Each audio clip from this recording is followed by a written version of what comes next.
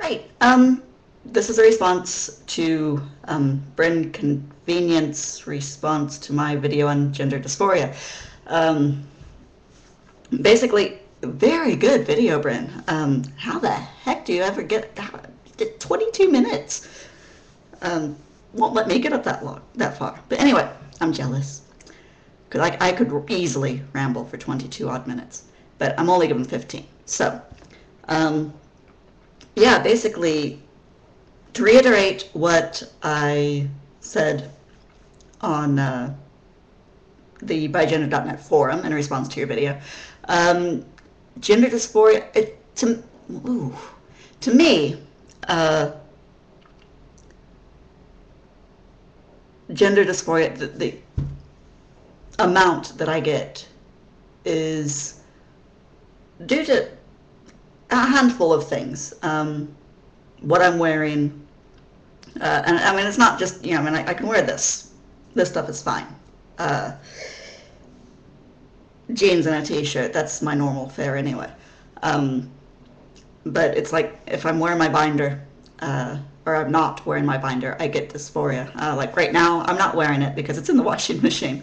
Um, so yeah, I'm constantly, ugh, yeah. Um, but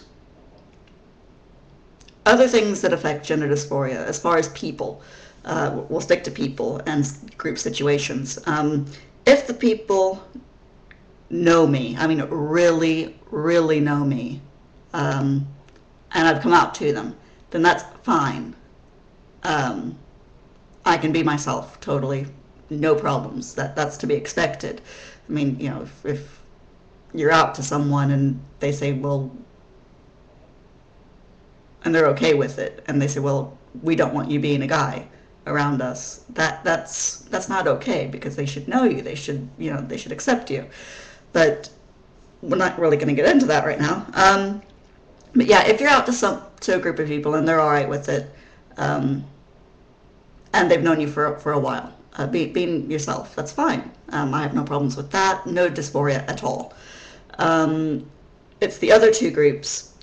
There's the group that doesn't know you at all, uh, as in, you know you've just introduced yourself to them.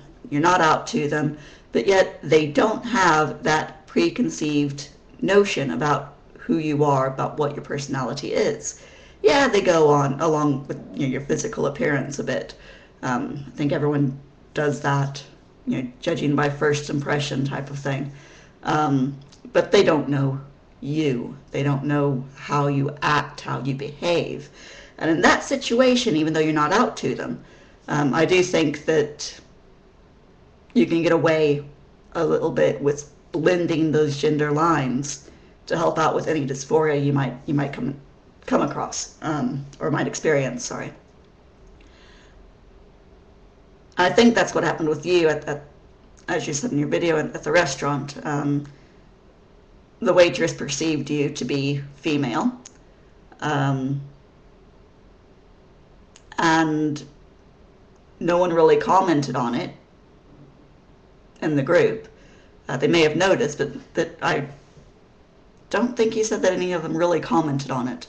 Um,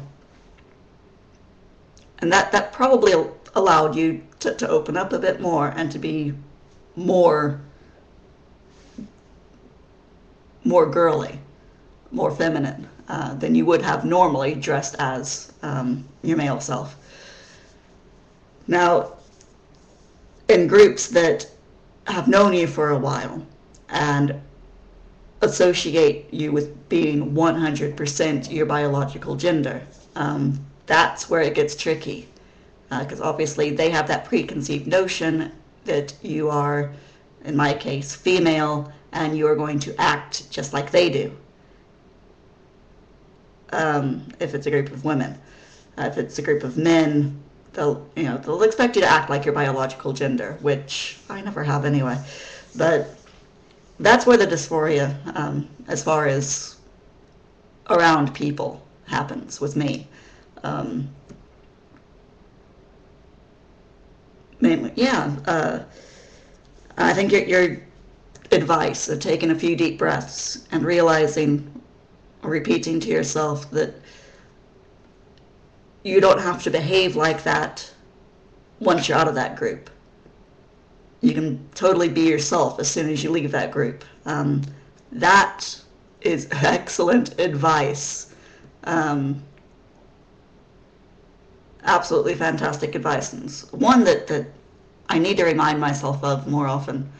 Um, yeah, I think this is going to be a short video today.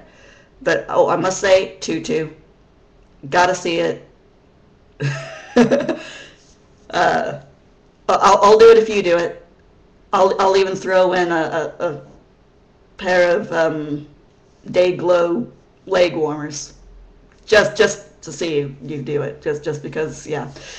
Um, no, seriously.